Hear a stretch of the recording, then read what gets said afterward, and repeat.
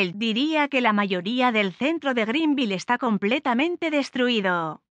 Mi corazón está roto por este precioso pueblo, tuiteó el fotógrafo Stuart Pally, mostrando imágenes de la devastación. Imágenes mostraban las llamas alcanzaron el pueblo de unos 800 habitantes cerca de las 4 de la tarde horas del miércoles, según Jake Kagel del Servicio Forestal. Previamente, la oficina del alguacil del condado de Si te quedaste debes evacuar hacia el este inmediatamente. Si no puedes evacuar y te ves amenazando por el fuego y puedes llegar a salvo, refugiete en el campo de béisbol del Instituto de Chester, escribió la oficina en Facebook. En una segunda advertencia en las redes sociales, la oficina añadió, si todavía estás en el área de Greenville, estás en peligro inminente y debes irte ahora, para mediados de julio. El área incendiada en California era más